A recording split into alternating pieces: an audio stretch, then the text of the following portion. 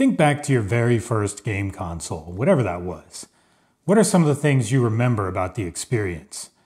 Well, I'm going to bet that a big part of it was the media and packaging of the games themselves, which for a long time was unique to every system on the market. Opening and playing a game was a tactile and console defining experience of its own. Today, I want to share a little ode to the cartridges, discs, cards, and the packaging that came with them, especially now that Sony and Microsoft seem to be doing their best to get us to stop buying and playing games that way. As we go, watch for my top 10 list of the best media and packaging designs of all time, as well as a couple of the worst. First, let me just say that I'm limiting this video to game consoles, but I could and may make an entire series of videos just on physical media. Computers, video and audio equipment all have physical formats that invoke nostalgia and in many cases are still more useful than digital downloads or streaming. But doing everything all at once would make for a very long video, and honestly, I wouldn't even have time to shoot or edit it before life kicked back in for me and work got in the way. I'm also limiting this to more or less standard designs for each system and designs from the US, since that's what I know. Obviously, limited and special editions sometimes do their own thing. We'll start with a little bit of history. The Magnavox Odyssey is generally credited as the first ever game console that used removable cartridges. While not fully programmable, the system would play different games depending on which cartridge you had inserted. The Fairchild Channel F then took that a step further by making the system fully programmable, with the games stored on the cartridges themselves rather than in the system's ROM. The Fairchild Video Entertainment System at your larger J.C. Penney. The home entertainment system that never gets old. Plug in a new video cart and change the fun. Play tic-tac-toe, shooting gallery, or just doodle. Switch video carts and play Desert Fox. These two systems set the early standard for how games actually worked on consoles, and they made it a viable business.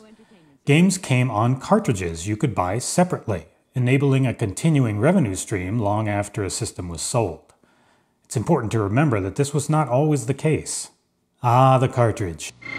Attention shoppers. The new Atari cartridge game is in. Excuse me. Uh-oh. George again. In the early days of the game console and even some computers, these hunks of plastic contained all the gaming goodness you could stand in a self contained black rectangular box. In truth, we all knew that inside them was a separate printed circuit board for every game we played, which somehow just made them seem even cooler. Every manufacturer had their own cartridge design because, after all, these were one of the parts of the system you interacted with most, not to mention the main way to keep your system feeling fresh over the years by buying new ones. So unique but standardized designs quickly became part of any system's branding. We gamers then would actually argue over who had the best cartridges. Not just the best games, mind you, although we argued over that too, but who had the coolest looking, most easily stackable, and most satisfying to handle little bricks of fun. I didn't own an Odyssey, but I did own a Coleco Telstar Arcade, a weird 1976 game system that used triangular cartridges to fit its overall pyramidal look. Pyramidal? Is that a word? Pyramidal. Anyway, it was a big brown pyramid. I honestly sometimes forget that this was my first actual game console. I didn't spend a lot of time with it, so I usually bestow that honor in my memory to the Intellivision. But I do remember those goofy triangle cartridges. Cartridges and their packaging would remain one of any system's defining elements for at least the next couple decades.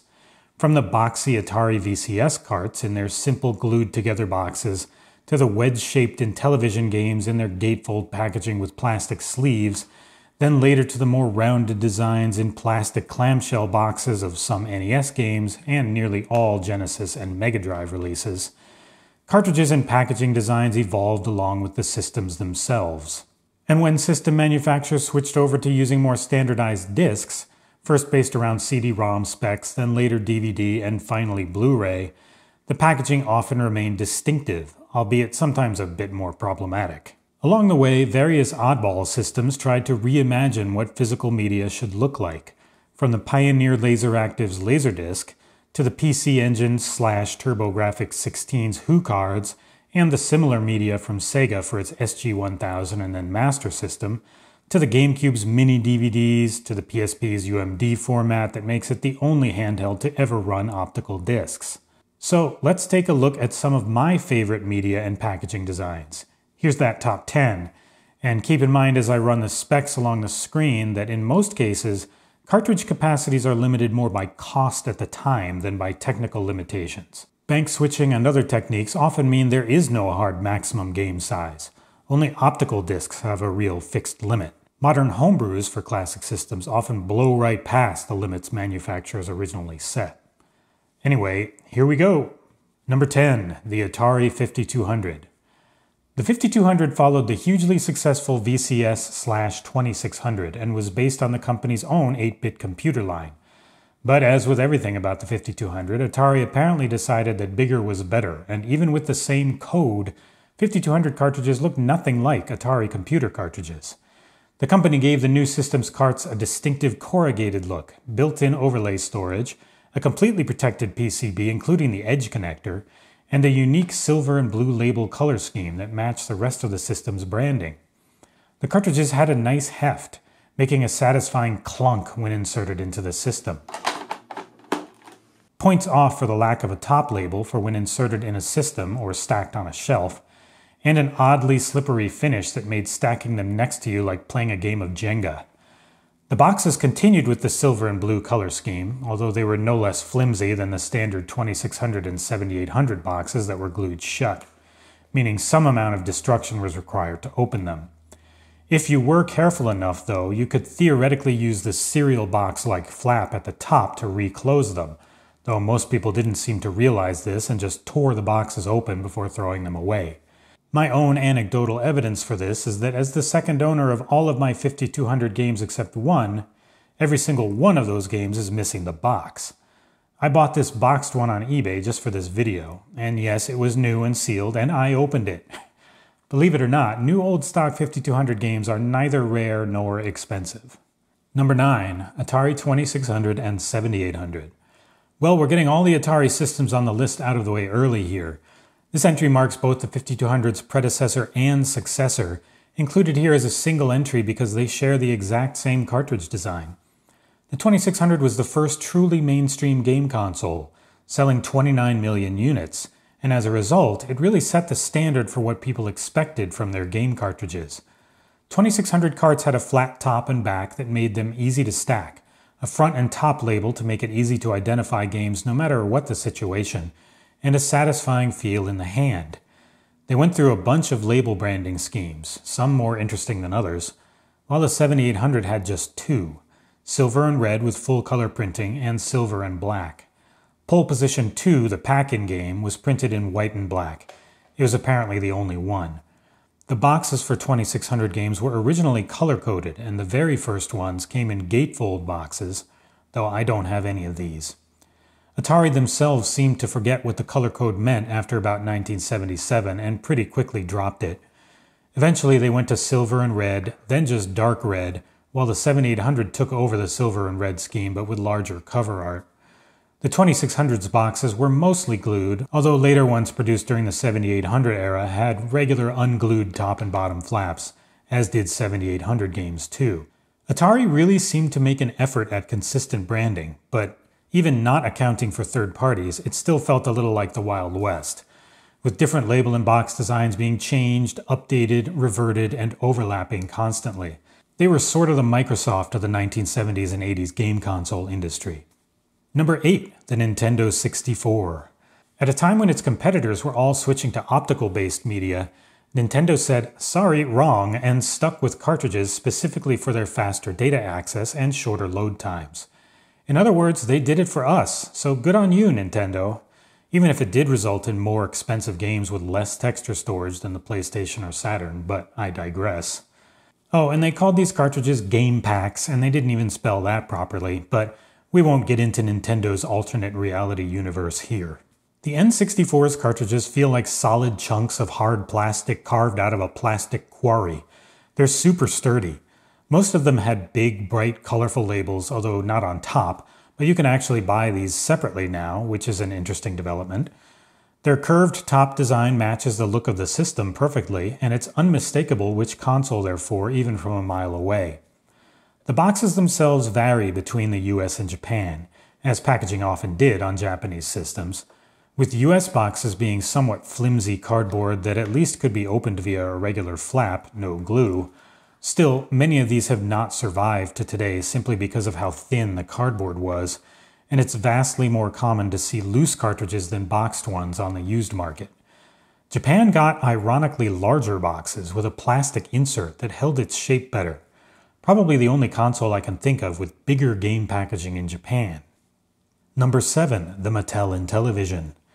While Atari set the mainstream public's expectations for what game cartridges and their packaging should look like, Mattel's biggest contribution to physical media was to popularize packaging that was meant to not be thrown away.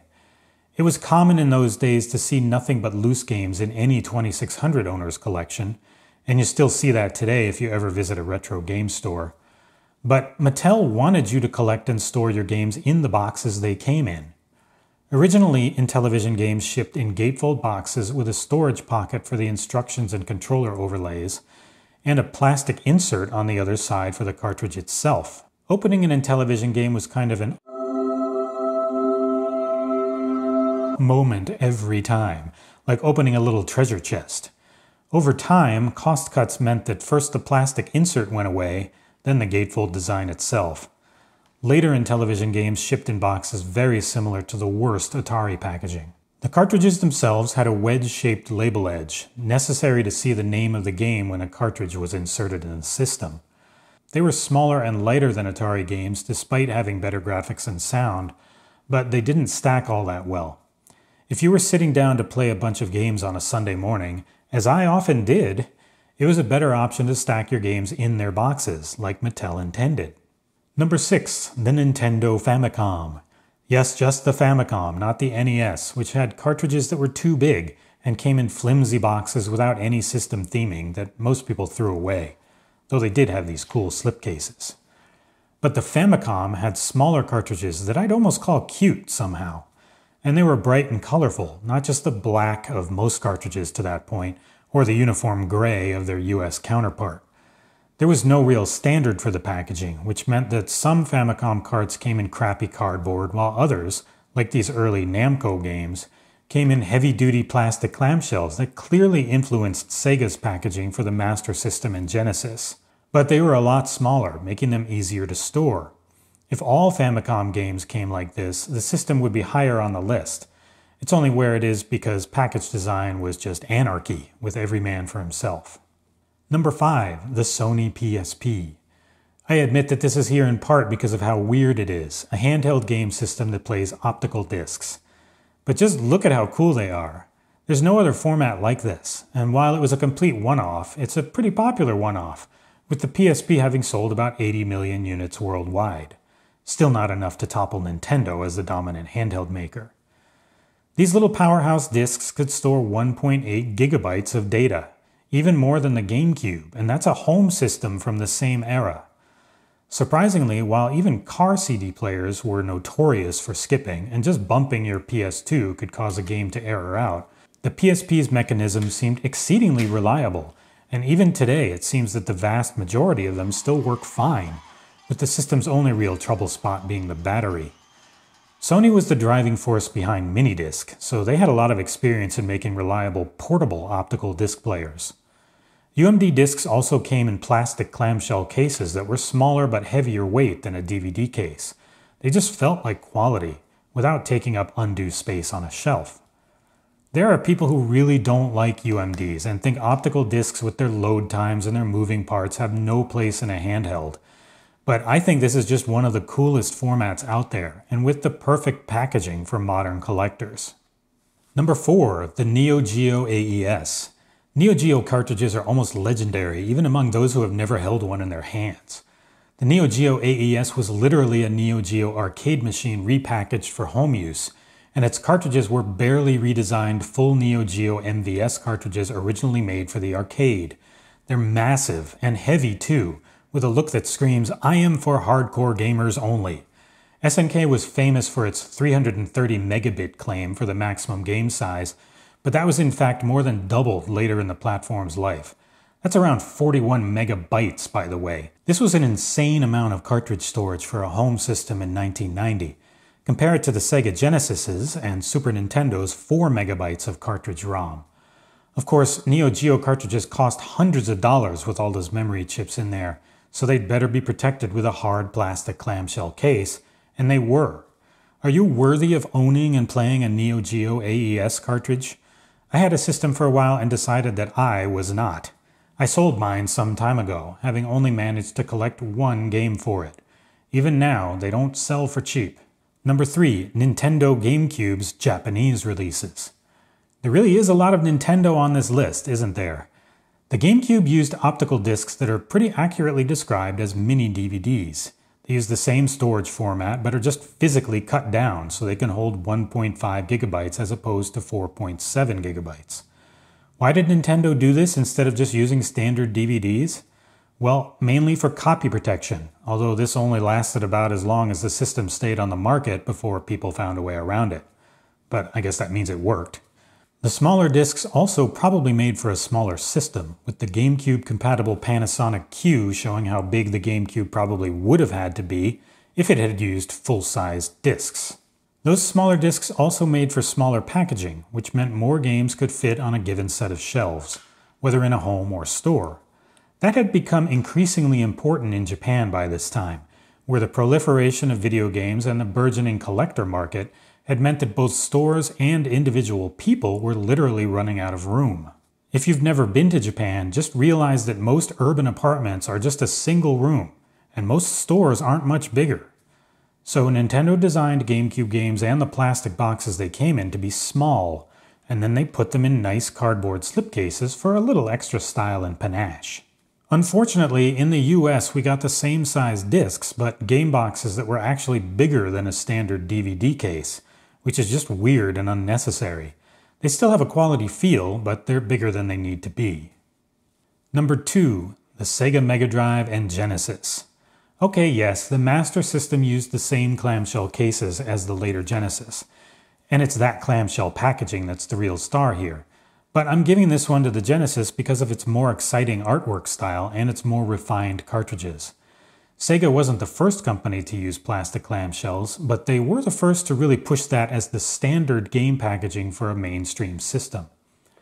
If you bought a Sega game in the early years of the Genesis, you were basically guaranteed that it would come in one of these, along with a big, sometimes really big, user's manual, and often a poster for the system. This isn't my original copy of Sonic 2, but I do remember this game coming with a whole bunch of stuff when I bought it new the day of its release. That gave Genesis games a feeling of quality and expense. They really felt like something, like you knew your purchase was worth it before you even put the game in the system. Those clamshells were also extremely durable and great for collectors because not only did they protect the contents inside almost as well as a sheet of bulletproof plexiglass, but they've proven to hold up really well over the years themselves. It's not uncommon to find Genesis games even now that are in mint condition and complete. Of course, like many consoles, including some others on this list, cost cutting did eventually set in and many later releases came in thin cardboard boxes. But we'll just forget that ever happened. Number 1. The Odyssey 2. Bet you didn't see that one coming, did you? Odyssey 2 cartridges are unique and distinctive. They're just the right size and weight to be easy to handle but still feel substantial. And they've got a handle. That handle actually does make them easier to insert and remove from the system. Plus, it's designed to lock in with other cartridges when stacking. And the artwork. Odyssey 2 cartridges all have that amazing retro future late 70s art style that brings me right back to the days when bell bottoms were the height of hip and disco was where it's at. Like it or not, Odyssey 2 artwork is totally its own thing. You'll never mistake an Odyssey 2 cartridge for anything else. Magnavox had the branding thing down in the 70s, and to my knowledge, every game released by Magnavox had this same look. The boxes are cardboard, but this was probably the first attempt after the 2600's first nine games to make boxes you'd keep for storage rather than throw away, as the Odyssey 2 beat Intellivision to market by a little less than a year. Odyssey 2 boxes are gatefold, like the Intellivision or those early Atari games, with a space to keep the cartridge when you're not playing it. They're also put together in a really interesting origami like way. There's not a lot of glue in use here. The box is mostly just folded into what it is. That does mean they don't hold their shape all that well anymore, but this is a 40 year old box. I think it's doing as well as can be expected. Most of my Intellivision boxes are in worse shape than this. So those are my picks for the best of physical game media. Now let's take a look at some honorable and dishonorable mentions. PS1 long boxes. Very early on in the PlayStation's lifespan, Sony was still kind of trying to figure out the whole game console thing. There was no real standard for PS1 game packaging, and some attempts were better than others. The discs themselves were all CD-ROM based, with a black optical layer that everyone thought was neat, but Sony initially couldn't really settle on one case design. Some games actually shipped in the same cases as the Sega Saturn. More on that in a minute. While a few came in these thick cardboard long boxes. These boxes have a really nice look and feel and hold up well today. If only this had been the standard package design, I would have included it on the main list. There are websites out there for collectors that can tell you what type of packaging each early PlayStation game used. It's interesting, if nothing else. Sega Saturn's US releases. I have a love hate relationship with these, although most people just hate them. They are unnecessarily large, but they look great on a shelf if you can manage to keep them in good shape. But they scratch and crack if you blow on them too hard. I don't have a huge number of US Saturn games. Japanese games always used regular CD jewel cases. And a long time ago, I bought a new old stock case of real Sega replacement cases. I still have a few left, so all of the Saturn games I haven't sold off look pristine. But it's very difficult to find used or even new Saturn games these days that don't have cracked or even completely destroyed cases. If you do, it will actually add to the price you pay. People pay a premium for Saturn cases in good condition. A little while ago, there were competing projects to start producing new Saturn cases again based on the old design, so you may be able to replace your own more easily now, although it depends on whether or not a production run is going on at the moment any system that used standard jewel cases. This includes the PS1, once Sony did standardize, the Dreamcast, the Japanese Sega Saturn, and probably some others I'm forgetting. The 3DO, CDI, any more? Anyway, CD jewel cases were the bane of even music CD owners' existence through the 80s and 90s, so why game manufacturers decided to use them has always been beyond me. Think of them like a miniature Sega Saturn case made out of that same brittle clear plastic. It's actually more common to find these broken than not these days, and frankly always was. I'd buy new CDs all the time that were already cracked or broken just from being transported to the store. It was annoying, and that carried through to game systems that used them too. I will say that there was not one single manufacturer of jewel cases, and some are better than others. I used to think Japanese ones were generally better than American ones, but that doesn't really hold true uh, now that I've had a little more experience. All of them suck compared to any proper plastic clamshell. Sega MyCard NEC HuCard. It was Sega that first had the idea of putting games on cards that were not much bigger than a credit card, and they did this for smaller games on their Japan only SG-1000 system starting in 1983. This system would later evolve into the Master System, which is essentially the exact same console as the SG-1000 Mark III in a different case. These cards had a limited storage capacity, and not many developers used the format, especially given that the system also could take standard cartridges that allowed for more technical and creative freedom. Still, the cards themselves are neat. You could conceivably carry a couple of them in your wallet, but they were not a success. NEC did a little better with their take on the idea, which was the main storage media for the PC Engine and TurboGrafx 16. And, you know, while I actually forgot to put it in the script, I do want to give a little bit of a shout out to some of the various handhelds that also used plastic clamshells, like the Nintendo 3DS, the DS, the PS Vita. Uh, I think those are pretty cool too. Well, there you have it. One man's nostalgic look back on video game physical media. Hey, some of us just like touching stuff, and actually owning things is always a plus in my book. But let's face it, if the console makers get their way, this is probably the last generation where you'll be able to do that. PC gamers gave it up long ago. You can't even buy most PC games on disc these days, even if you wanted to. So while it's maybe slightly premature to say this, may as well get ready to pour one out for one of the most fun parts of the video gaming experience. Oh well, guess that's what retro gaming is for.